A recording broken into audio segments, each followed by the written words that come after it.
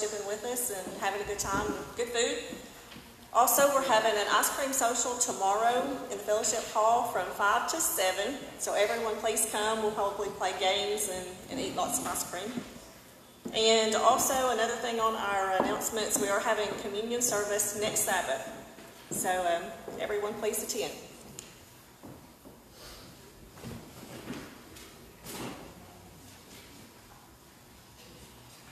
Let us pray before we begin this morning. Our Father in heaven, thank you for bringing us here, Lord. We thank you, we praise you, we love you, God. We pray that our hearts will be prepared, our ears opened, that we will be able to receive what you have a desire to provide to us.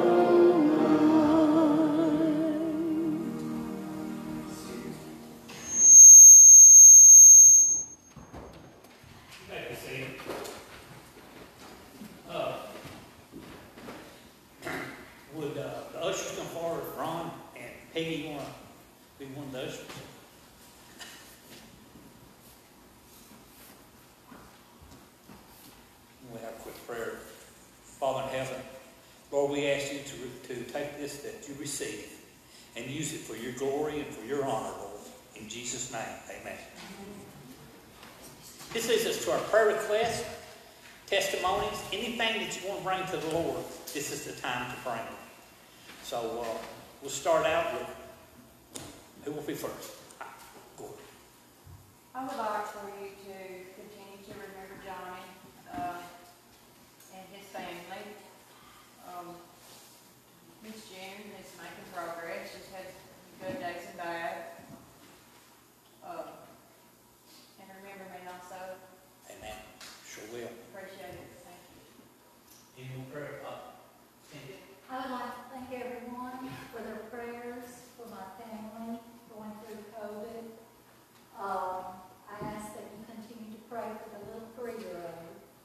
not feeling good. you ever sick, it's something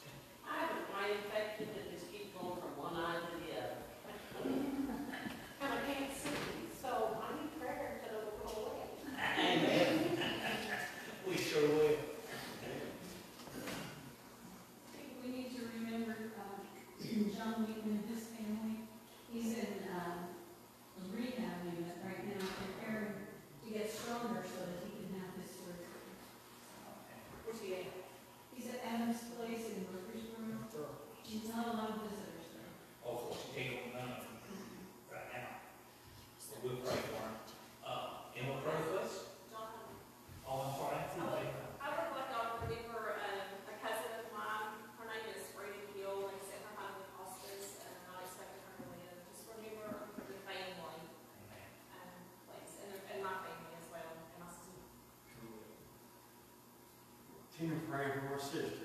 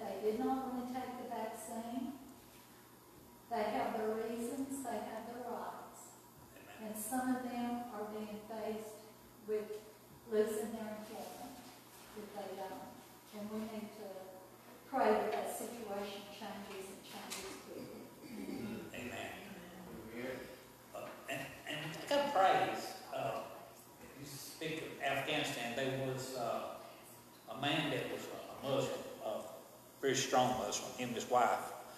But when American troops were there, he became an Adventist, and a strong Adventist. And uh, he, him and his family, he, he, was smart enough that he left the country. His wife would not change, she's still Muslim. But he left the country in time that all this stuff, before this stuff happened. And uh, his children are going to an Adventist school now. And I, I think in California, I think but that's a praise. I mean, you know, that they were they got out safe and everything, and, and, and he become an Adventist, and his two daughters, he got them in Adventist schools. So that's a praise. Go ahead, Ron. I got a praise, uh, with Kathy and Glenn putting their music together. Amen. It's just been beautiful. Amen. Really, I've been blessed. Amen. We sure have. Amen. Any more prayer requests? Okay, sure will. We sure will. Okay, any more prayer requests? How about unspoken? Anybody have an unspoken? At this time, let's go to the Lord in prayer.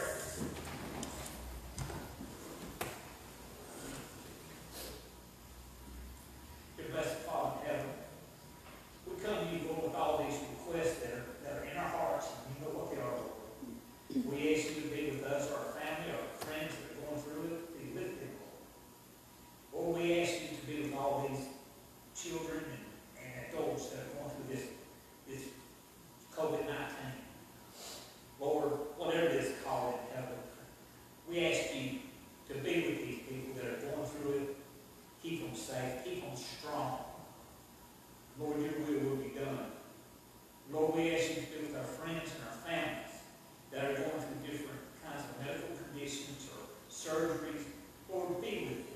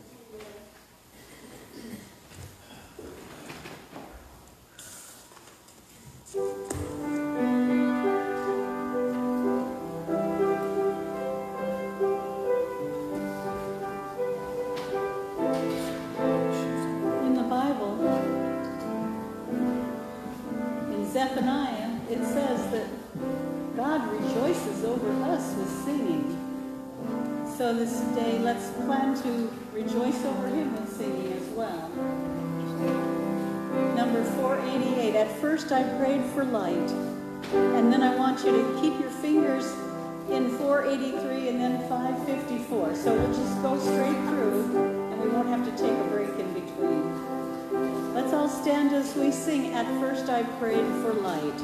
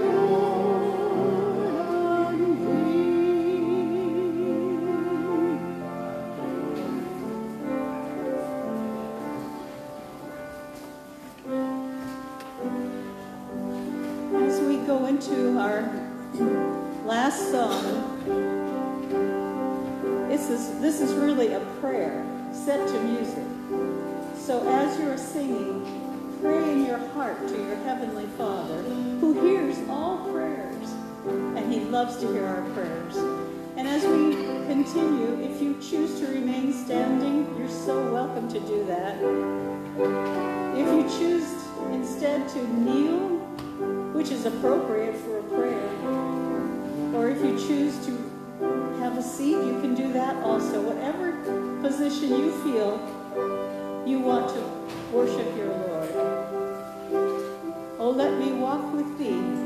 And if this is your prayer, sing it to your Heavenly Father.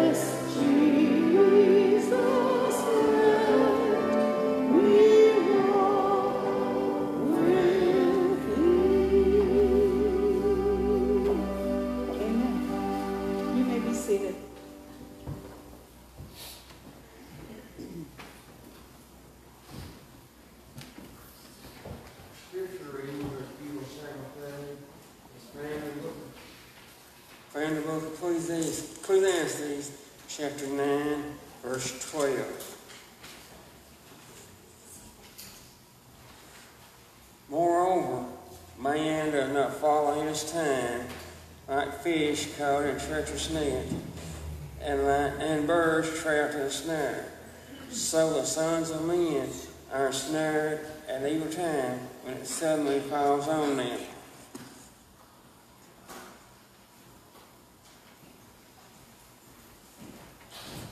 Happy Sabbath, everyone.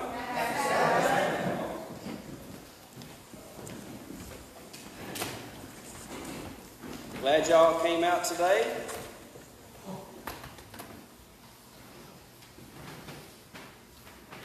Thank you for your help.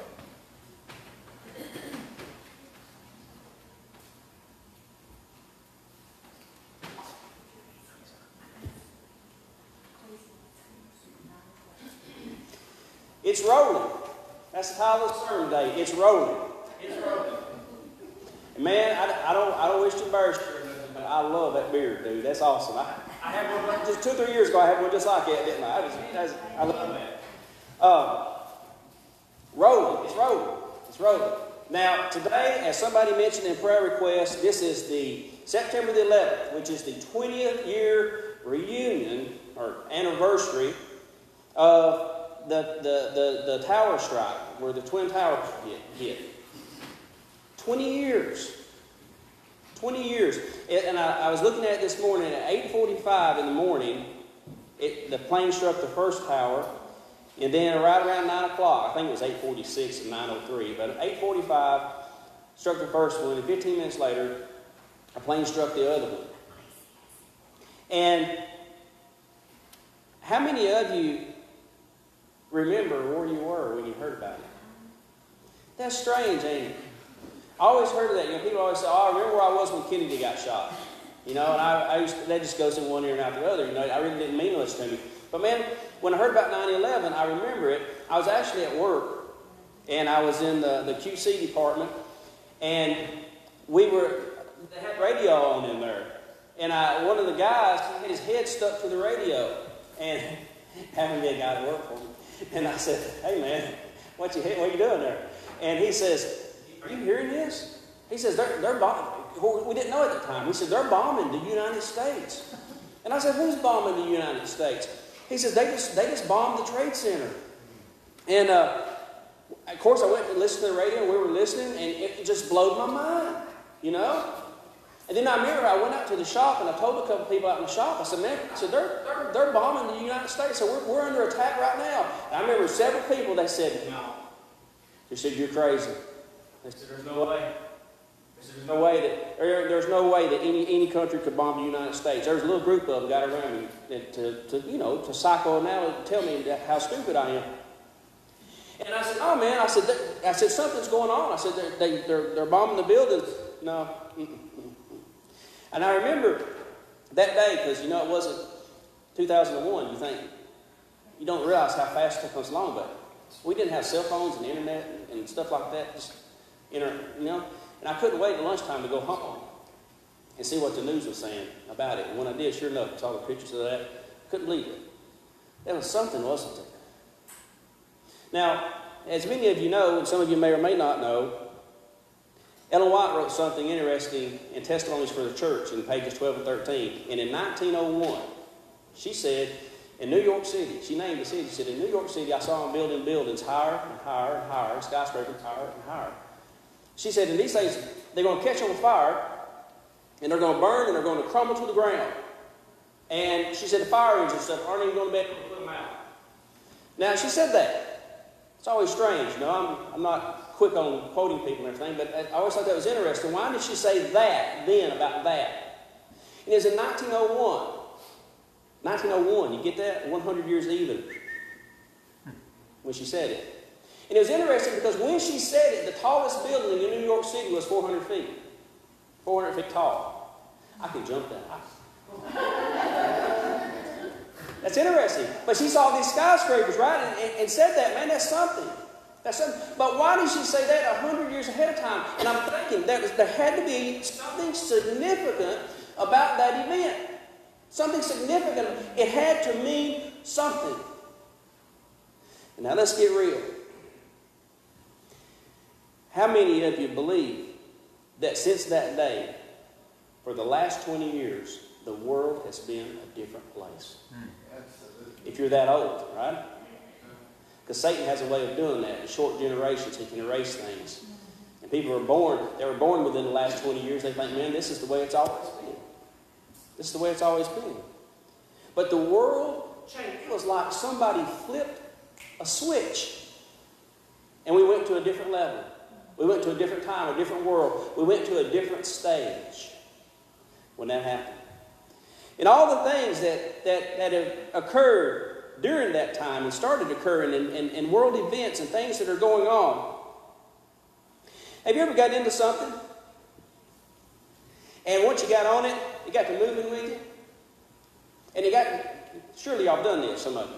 I mean, adventurous as I am, I've done this more than once. Got on something that was moving, and once you got on it, it got to moving too fast for you to get off. You ever done that? Back when I used to jump trains and stuff, and I was a hobo and lived and travel around on trains, I used to jump the train, you know. I'd have to chase it down, and then once I got on there, it'd get to moving so fast I couldn't. Uh, There's this little railroad bridge down here on the back side of town. It's a little tunnel that you go under. There you go. Little tunnel, you go under it, dips in this railroad bridge. And when the railroad is blocked here, which next weekend now I think it's going to be blocked up. The railroad is. So be ready for that. Leave house 30 minutes early so you can get around. So when this is blocked, you can go down the back or under the dip and go. It's a small tunnel. Many of you know what I'm talking about. The creek down there. You go down by there, elementary school, go back off through the yonder. And in that little tunnel when I was a kid, we used to play on that. Well, we played all over the creek, the tracks, everywhere.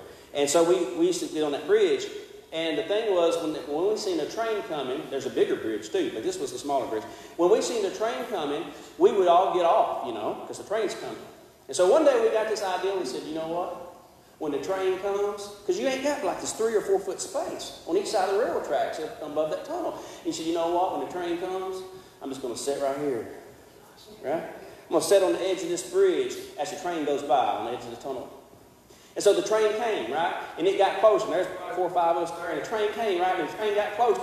And it got closer. And as the train got closer, a few of them said, no, man, I'm getting out of here, right? And, it, and the train got closer. But then there's a few of them that said, no, I'm staying no matter what. You know, I'm not leaving. And so the train got closer, and it got closer, man. And then it got to the point, I remember it got to the point to when the train was too close to change my mind.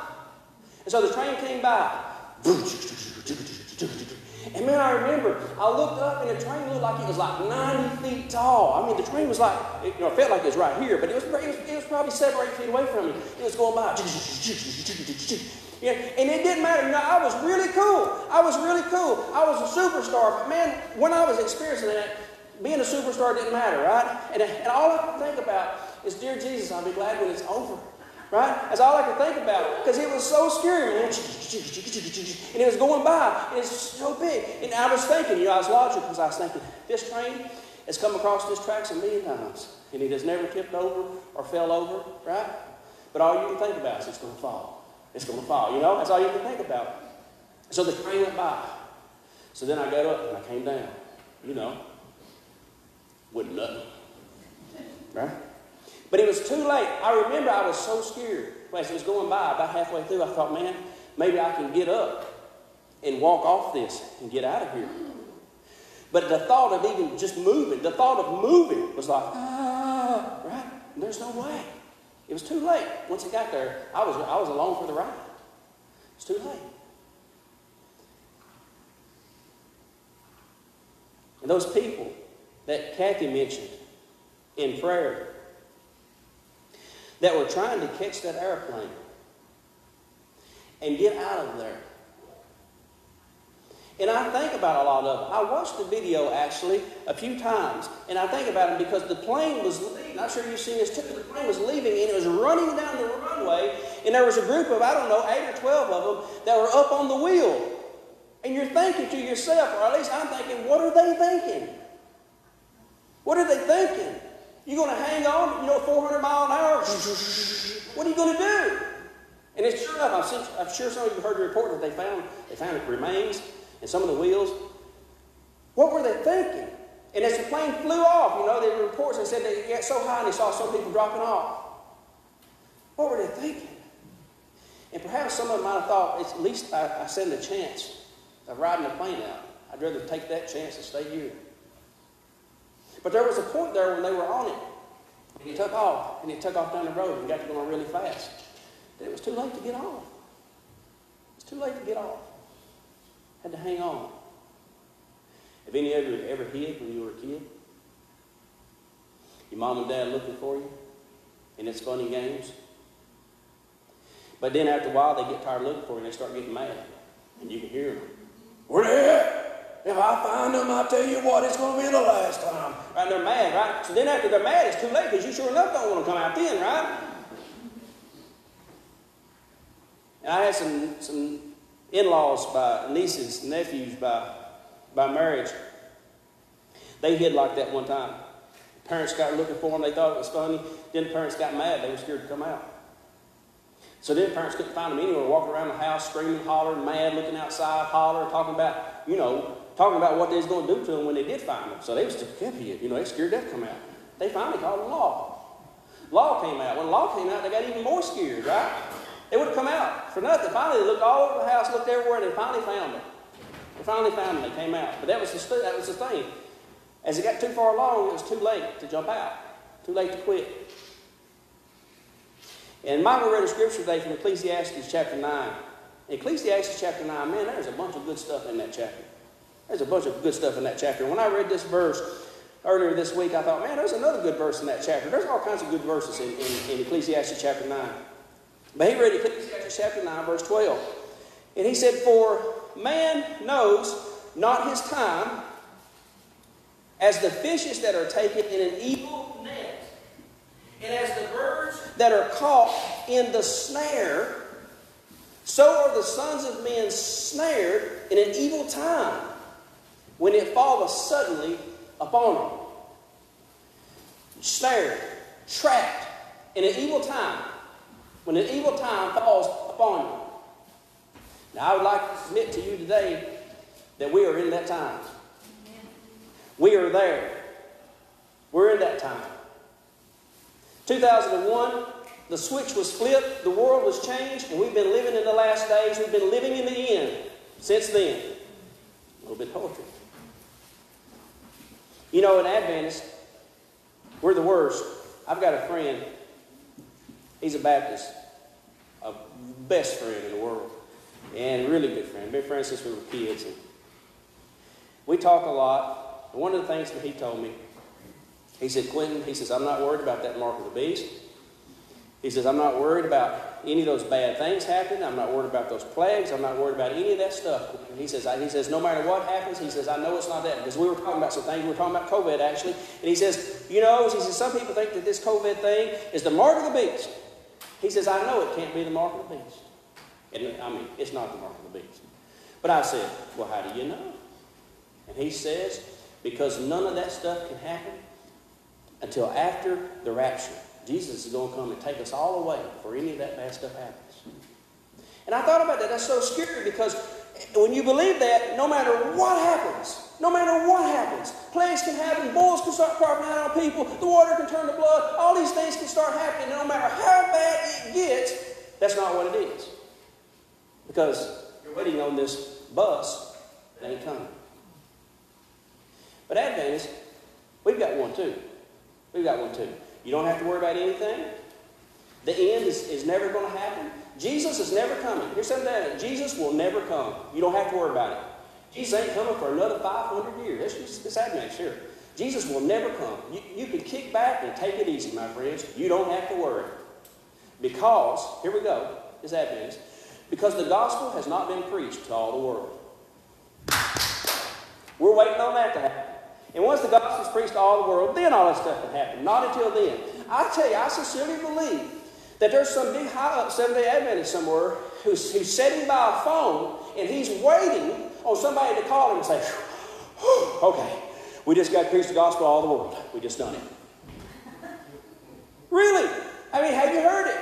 Have you heard evangelists on television? Have you heard preachers say, Adventist? Well, we're waiting on the gospel to be preached to all the world. And it hasn't happened yet, I know, because I am Jesus. Really. I mean, he don't say that, guys. I'm just putting that. But we act like we know when the gospel is going to be preached to all the world. When that day happens and the hour comes, we're going to know it. I'd like to submit to you that the gospel's already been put out there. It's already been put out there. In some of these communist countries, you know, they're closing up churches and closing down churches and they're killing Christians and they're running people away. But the thing is, it's already in there. We've got it there. It's been there, and it's going to continue to spread and seep around the world if it hasn't already. I am not waiting on the gospel to be preached to the world. I'm not waiting on a phone call to happen. I'm not waiting on that. As far as I know, it's already happened. Now, I want you to turn with me in your Bibles to Matthew chapter 24. Matthew chapter 24, and I want to begin here in verse 4 this morning. Matthew chapter 24, beginning in verse 4. And they asked Jesus, they said, Man, what's the sign of the end of the world? That's what they said in verse 3. What shall be the sign of your coming and the end of the world? That was the question to Jesus. So in Matthew chapter 24, verse 4, Jesus said unto them, He said, Take heed that no man deceive you. So that's the thing. You gotta be careful. Because people are going to come and they're going to try to deceive you. Right? And then he says this next one right now. Jesus is the one doing the talking. In verse 5, he says, For many shall come in my name, saying, I am Christ. It shall deceive many. Do you get that? Are you caught in a snare? Because he says, Many will come in my name. And they're going to tell you that I'm Christ. But they're going to be teaching false doctrines and they're going to deceive many. Are you with me? So many people read that so many times. Look at so we're looking at false Christ, people pretending to be Jesus Christ. Jesus said, People are going to come in my name and they're going to tell you that I'm the Christ. They're going to be deceiving you. Not about me, but the things that they're teaching. Matthew chapter 24, verse 5. He says, For many shall come in my name, saying, I am the Christ, and shall deceive many. Verse 6. And ye shall hear of wars and rumors of wars. See that ye be not troubled. Have we, do we hear wars? Rumors of wars? Have we been that? I never have anybody argue with me over that. I never heard anybody say, now that has not happened yet. He said, These things will come to pass, but the end is not yet, he says. For nation shall rise against nation, and kingdom against kingdom, and there shall be famines, and pestilences, and earthquakes in diverse places. Now I want to ask you. You know, people try to play it down. They'll try to play, I always try to play it down. And I always like to look at things, you know. It's like the, the, the, the COVID vaccine. I'm not against the COVID vaccine or anything like that. But I do see some stuff happen, you know. Like, I work around a group of people. There's six of us. Five of us got the shot. One of us didn't. And so, three of us get COVID and are sitting home. And the one that don't get the shot, he's you know. I, you know, because all that's that's hogwash. You're insane. You're crazy. Man, I don't know. I don't know. So my uncle, here it is, and I, and I think that some people are brainwashed. I don't know, and I'm not I'm not preaching. I'm just saying that there's stuff to think about. It's not just something to just say, oh man, it's okay. My uncle took the shot, and when he took the shot, he had a stroke. I said, man, I don't know if I'm going to take the shot or not. And you know what he says? He said, ah, that's just coincidence. That's just coincidence. I don't know, man. I think, oh, that's my uncle. He's got genes just like me. You know, I don't know. I don't know. So there's this thing on top of just being made do something that you don't want to do. There's a lot of things I don't like about it, you know.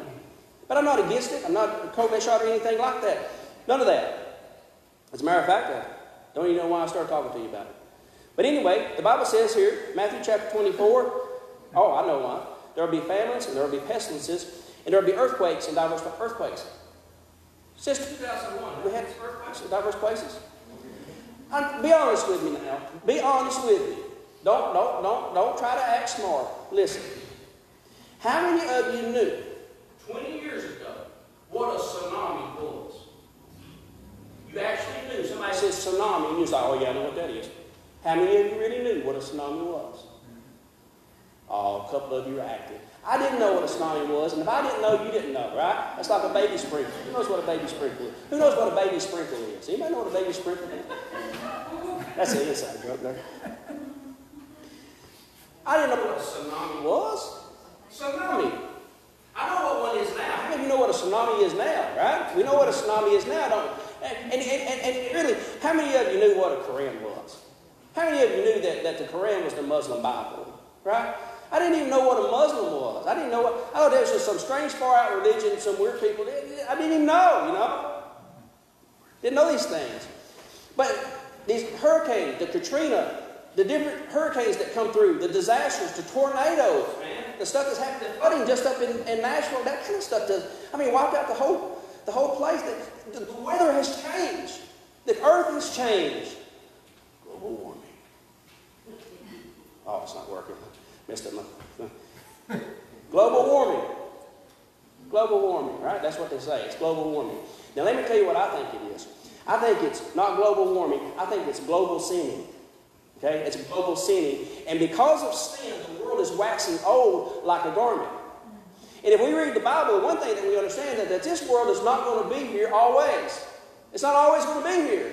Just like we're getting old feeble and worn, the earth is getting old and feeble and worn as well. All of these things. But one thing it says here is pestilences. Pestilence. Pestilence. And I looked at the definition of pestilence and it said a deadly disease that affects an entire community or nation. A deadly disease that affects an entire, entire community or nation. Now I'm going to ask you this. Have we experienced any pestilences?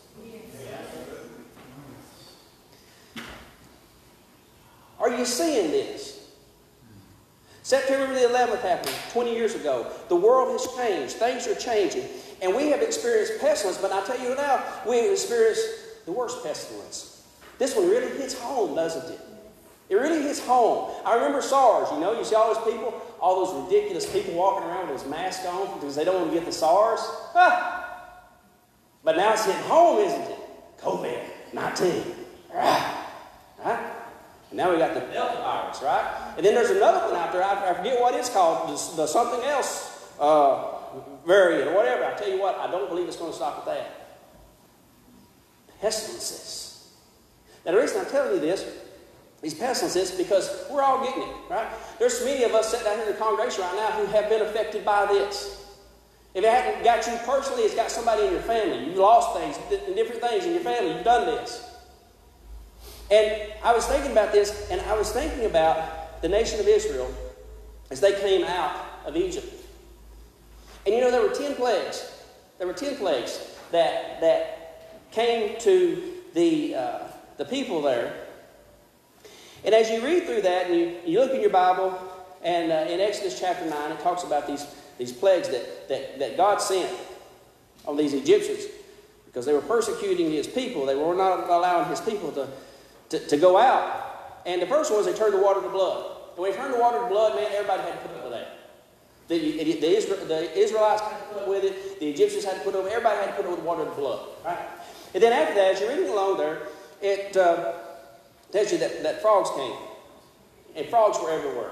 Right? Frogs were everywhere. It's always hard for me to keep a straight face when I read that. I'm like, frogs? I mean, really? I mean, come on, frogs? I mean, you know, how bad can it be, right? But it says they were so bad, you know, that they were filling up in their houses. And then finally, when they called the plague off, that they, they, they raked them out and piled them up in heaps. Frogs in heaps, right? Frogs. Affected everybody. And then the other one was lice, right? Lice. And he said, turn to dust. Turn the dust to lice, man. Everybody. All of them. But then after those first three, there was ten of them altogether. And after those first three, things start changing. After those first three things started changing, then, then they got flies. They were attacked by flies. Now I want you to look with me. Then the next thing was cattle. Uh, Exodus chapter 9, verse 4. And it says, The Lord said, And the Lord shall sever between the cattle of Israel and the cattle of Egypt. And there shall nothing die of all that is in the children of Israel. So when that fourth plague started, it didn't affect everybody. It just affected the Egyptians. God's people were saved. And then after we had the, the cattle, then there was boils that broke out on the people. And it says in verse 11 that he put the boils upon all of the Egyptians, but not the Israelites, not the other people. Then after that we had a plague of hail that came. And in verse 9, in chapter 9, verse 26, it says, And only the land of Goshen, where the children of Israel were, was there no hail. And then after that they had darkness. And this is the one here that's most fascinating to me. In Exodus chapter 10, verse 23, when he cursed them with darkness, this extreme darkness, so dark you couldn't even see your hand in front of your face. There was like a blanket of darkness over all of Egypt. And the Bible says in Exodus chapter 10, verse 23, they saw not one another. Neither rose any from his place for three days. It was so dark they wouldn't even get out of the house. You ever been like that? Have you ever cut the lights out and been in the dark and it was so dark you were scared to move because you, didn't want to fall over something? It was so dark they didn't even get out of the place. But the Bible says here, but all the children of Israel had light in their dwellings. They had light. So what I'm telling you here this morning as I, as I just rush through these things is that there were 10 plagues. The first three affected everybody. But the last seven, or should I say, the seven last, only affected the Egyptians and not God's people. What was the problem? What was going on there? If we look at Exodus chapter 5, verse 5, and I could go through the whole chapter, and you could look through the whole chapter too. It really becomes apparent when you go through the whole chapter. But in Exodus chapter 5, verse 5, it says, And Pharaoh said, Behold, the people of the land now are many, and you make them rest from their burdens? You want them to rest? You want them to rest? And so what he did is he made their load worse and put more work on them and more work on them. He says, So you have no time to rest. Ask you something. Do you think those guys were taking Saturday off? You think they were having church on Saturday? They were loaded down. The one absolute thing that Pharaoh did not want them doing is taking a rest or taking a break. The whole thing was about Pharaoh was going to not let the people rest. That's what he was about to do. But the next day he broke it up. Moses let him out. He finally said, you know, the firstborn, right? And, you know, I, I would go into all that, but there was a mark. There was a mark that the people had. And if you had the seal, you had a mark, then you were passed by. And so they all came out, right? And he said, I'm going to make one last attempt to get them. One last attempt to get them, right? And then the sea was parted. The people walked through. And Pharaoh and his army came, right? And the water washed over them and they were drowned in that sea? It's all right there. It's all going down the same way. We're the same kind. There's going to be seven last plagues. There's going to be a mark passed. There's going to be, the problem is that, that, that, that the government, they're, they're going to try to stop you from resting. That's what they're going to try to do. They're going to come up with some way to stop you from resting, from taking God's rest. Actually, that, that, that term there for rest is Sabbath. As Flo was saying in Sabbath school this morning, it means to stop, to rest, a holy rest. And they're going to try to make you stop that, what God commanded you to do. And when that happens, they're going to be destroyed in a lake of fire. Right? The whole story's all there. The whole story's all there. And I got five minutes. I want you to flip back with me to Matthew chapter 24 right quick. Matthew chapter 24. it says, All these are the beginning of, of, sorrows, these, these families and stuff. They're the beginning. But I want you to look at verse 9 because this is what's next. And this is what's unbelievable. Whoa, no, no way. Not going to happen. No way. But this is where we're at. We are living in between verse 8 and 9 right now. These things are the beginning of sorrows. And so you say, aha, it's the beginning of sorrows, Quentin. So I've got plenty of time because it's the beginning. But we've already, remember, the ball is rolling. We're already on the train. It's already moving. It was a couple weeks ago, I was in a parking lot in my car, and I was sitting in a parking lot, and this car, it started backing up. And it started backing right up on me.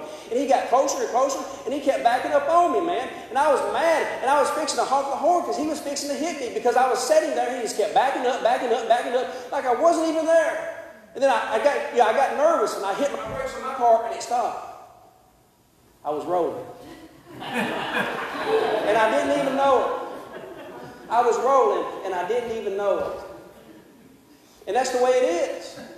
We've been rolling for 20 years. We've been living in the last days for 20 years and we're totally unaware of it.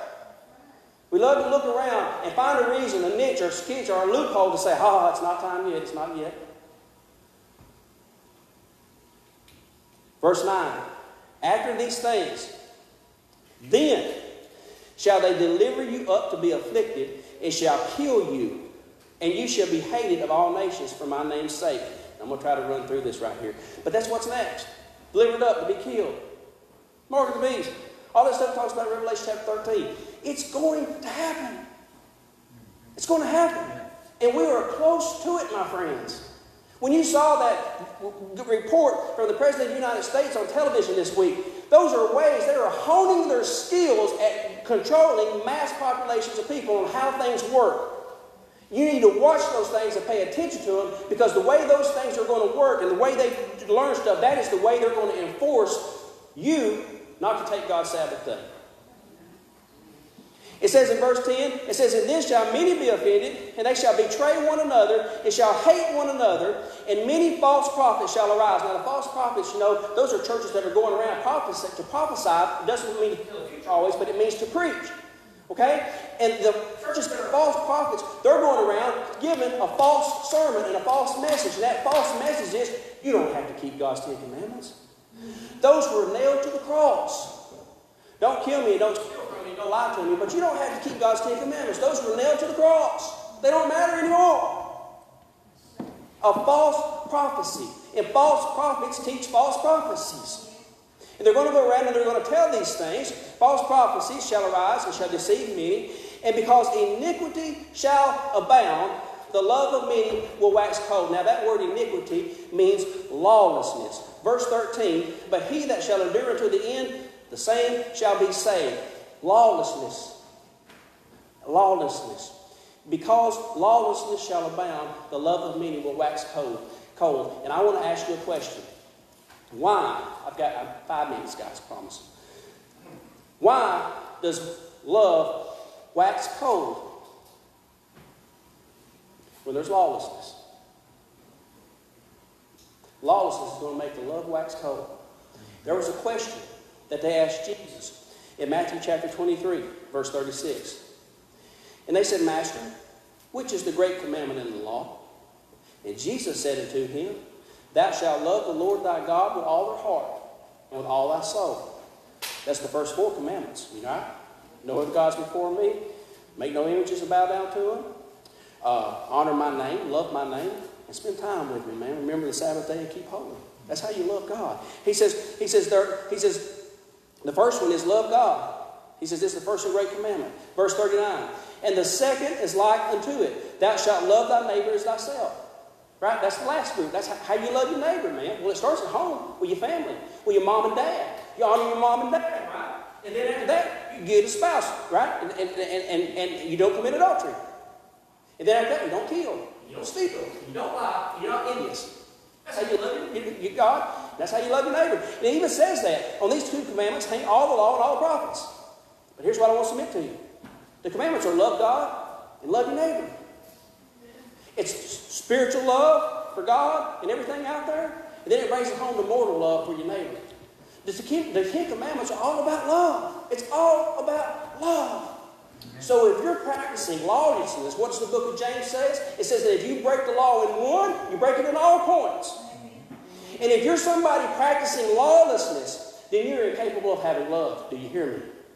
So this false prophets are going to come out teaching a false message and they're going to practice lawlessness. And because they practice lawlessness, they will have no love. But he that endures until the end, the same shall be saved. And I'm going to end with this. I'm going to end with this. He that endures until the end, the same shall be saved. Now let me ask you a question. If you're going to endure something, what do you have to have? If you're going to endure, if you're going to hang in there and you're going to endure, I'll probably get two or three answers. But what do you got to have to endure something? Faith. What'd you say? Faith. Faith? That's a good one. Endure something. Hope. Hope's a good one. It's not, all these are good. That's what I'm looking for. What do you, if you're going to have to endure something, you're going to have to tolerate, you're going to have to put up with, it, you're going to have to hang in there. What do you got to have? Strength. Oh. What about patience? What about patience? And the Bible tells us in the book of Revelation, chapter 14, verse 12, it says, Here is the patience of the saints. Here are they that keep the commandments of God in the faith of Jesus Christ. And that, my friends, is what's going to save us. That, that having the faith of Jesus Christ and following his, the laws and keeping that's what's going to keep us alive. That's what's going to make everything. That's what's going to do it in the last days. They're going to try to stop you from keeping God's law. Now, I had this friend. I got one story I'll tell you and I'll close. I had this friend. And this is a story that he told me. And I've looked up some stuff, and it could very well be true. This was an old guy. He was an engineer, and we used to work together at a company and stuff for the government. And we were actually working on a commercial project. This it was a hay, it was a CNC controlled hay baler that you could program to stack hay however you wanted to. it, mounted on right anyways. And so we were talking, and Howard came up, he said, you know, he said nobody in my family is a dummy. He said, nobody in my family is a dummy. And I said, well, you know, I said, I said, how how you? And he said, well, they there's not. He told me about some people's family stuff that they did. And he says, at this time, At this time, I remember I had been back and forth to Nashville on the interstate, and there was this big billboard sign. And there was these three men, and there was a woman, a lady. And, and these three men and a lady standing on the billboard. And there was like two, three billboards, and they had these three men and this lady standing on this billboard. And on the billboard, it said something about finances and banking and marketing and all this different stuff. I'm not sure what it was. I think it might have been something about a big bank. But I remember seeing a big billboard, and one lady standing there with three men. And he says, You ever go on the way to Nashville on the interstate? He said, You see that sign there with that lady on that billboard? I said, Yeah. I said, I've seen that. I've seen that. He said, That's my daughter. I said, Really? Yeah. He said, That's my daughter. Yeah. And I said, Huh. He said, He said, he said, You know how she got to where she was, she because she, was like a multi-millionaire. He said, You know how she got to where she was at, don't you? And I said, No. I said, he said, Well, she was a waitress. There you go. I said, Oh, I really worked hard, saved money, good tips. he said, No. She had a husband that was a contractor. And her husband was a contractor, and he had a friend that did have some money. And he had an idea. He wanted to open up a restaurant. And he had loose ideas. And the reason that she even heard about it is because he was friends with her husband, who was a contractor. And so she was overheard the conversation, and she got to talking with him about it. And she says, "Man, she said, if you're going to open a restaurant, she said, I'd like to work there, waitress." He says, "I'll tell you what." He says, "He says I got a group of people we're talking about the restaurant, how we're going to do everything." He says, "Why don't you just come and meet with us next week? We're going to meet, get together." He says, "Why don't you just come to meeting?" She says, "Well, I ain't got no business coming to the meeting." He says, "Well, if you want to work with her, go work there and stuff." He says, "You might as well come, get in the groundwork, see what we're going to do." So she says, okay. So she went to this. There's like 12 people there. She says, they're just all just sitting around. You know, nobody's no organization, nobody's doing anything, nothing. She says, so you just felt, she just felt impressed to say, you know, what are we doing here? What's our purpose? What are we doing? And she got up, started drawing on the board and stuff, getting taking ideas and everything. She had this one idea. She said, you know, she said, we need, we need to have uh, uh, a store attached to the restaurant, to the front of the restaurant. We need to put a store on, on the front of the restaurant attach them together, make them together. And so anyway, they, they, they got that stuff, and he, he said after thing, he said, you know, he said, I want, you want to take charge of that? She said, are you crazy? He said, no, I'll take charge of it. Go ahead. You can do that. Right? And some of you, probably just from the little bit you heard, you know that that was Cracker Barrel. It started in Lebanon, Tennessee. And she just started that. Now, my thing and my point about this is what's so fascinating about that story is she had no idea any of that was going on. She had no idea. She was just, you know, just offering a thing. Now, the contractor, her husband, he was the one, he said, you know, you can build it. And so he built the first one. And so that's how they all got started. He said, but, but she had no idea, you know, what was going on there. And, and, and in one night, there she was. It was rolling. It was going on. It was happening. And guys, you have no idea. One day we will get to heaven and we have no idea of the part that we play for God here in this world. Because it's happening. It's going. God's going to build a kingdom. It's much bigger than a restaurant. It's much bigger than a, than a whole chain and a national chain of cracker barrels. It's much bigger than all of that. It's a whole new world, guys. And we're in on the ground level. And everything you say, everything you study, everything you do, when you're grocery shopping, when you're working, when you're witnessing, when you're inviting people to church, it's critical. The time is at hand, and the time is now. We're not waiting on the end times to come. We're living in the end times to come. Amen. Amen. Let's say our closing hymn this morning. Father, lead me day by day. Is that correct?